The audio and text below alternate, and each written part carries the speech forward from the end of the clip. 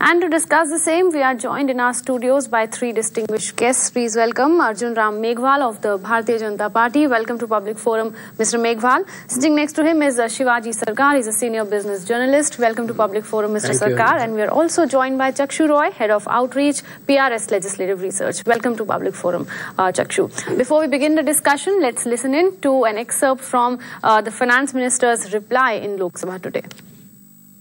deal with